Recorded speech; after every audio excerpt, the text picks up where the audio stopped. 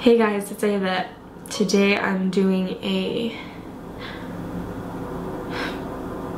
a very different video.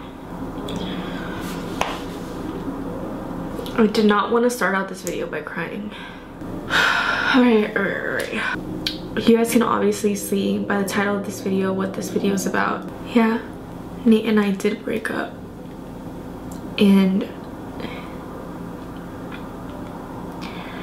I don't want to hide this from you guys. It's already been it's already been a while since we've been broken up. Um, I can't clearly remember. It's been like one, two weeks. Let me just start off by saying it hasn't been easy.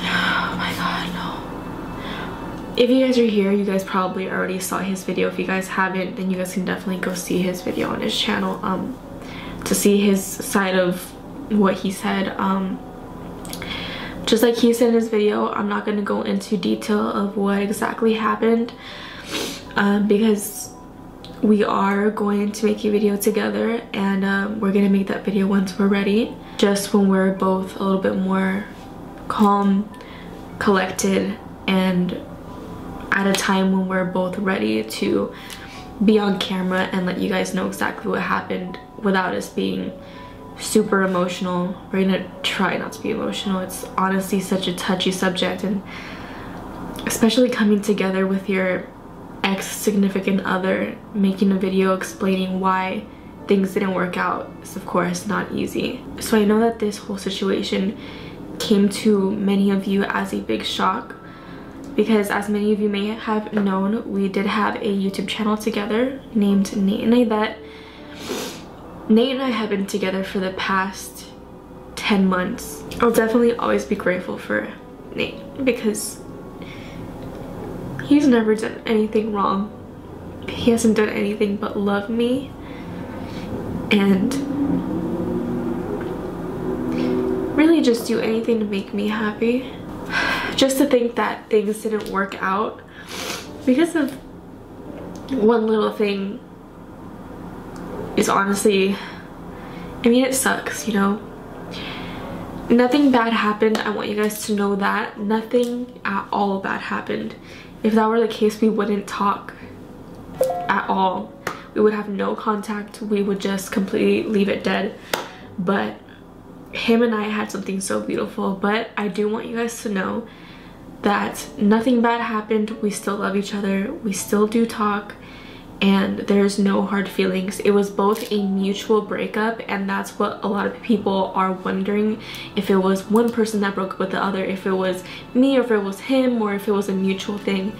It was a mutual thing. And so odd because it seems like normally people don't really break up mutually and to be completely honest i am grateful that it wasn't a one-sided thing because if it was, I mean, it would hurt a lot more. Man, this is so much harder to make than I thought. Also, another thing that I did want to clarify is the fact that many people are saying that they think that I don't care simply for the fact because I've never posted him on my Instagram. That's not true. And that's a big problem on social media that if you don't post someone if you don't post your significant other people automatically think yeah this person doesn't care. The other person clearly cares a lot more. Let me just say something. Posting does not define your love for someone. There could be a cheater which is not my case. There could be a cheater that posts you every single time always posts you on their story always posts you on their social media is always saying all this sappy stuff all this cute stuff always giving you all these gifts and stuff but that doesn't define how much someone loves you.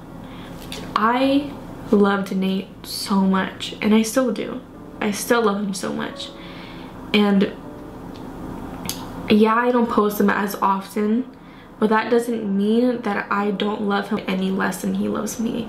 But what matters most is that we know what we had and we know what we have that's all that matters at the end of the day it just matters if you both know that you love each other it doesn't matter what other people on the outside looking in have to say because they do not know you like you know yourself So that is one thing that I did want to clear up because I know for a fact how much I loved Nate and I still do. And our relationship simply just ended because we had different views on some situations and that was it. But I did want to come on here simply for the fact that I wanted you guys to also know because I know that we both don't have the same audience. Um, his channel was once Nate and Aidette and now it's going to be his own channel, Nate Wyatt. We will no longer be making videos together every single time he posts. I will definitely be in there once in a while, pop in, say hi. Simply because we have such a close bond. He is my best friend and we have such a close connection. No matter us being in a relationship or not, we will always have a close connection. I think my body's just dried out completely of all tears.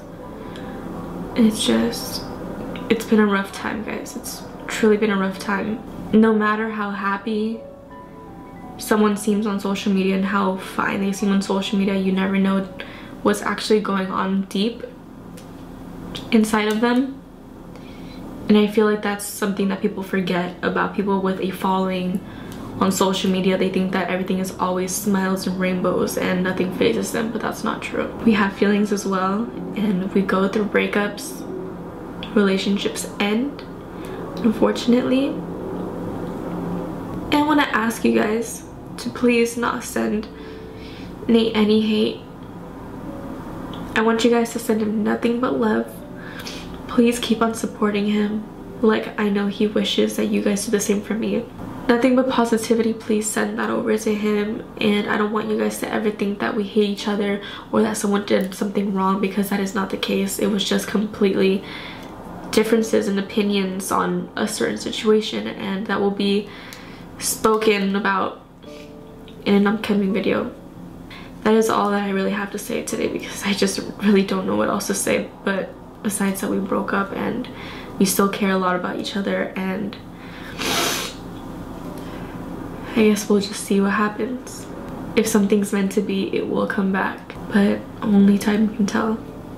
I really hope this clarifies some of your guys' questions and yeah.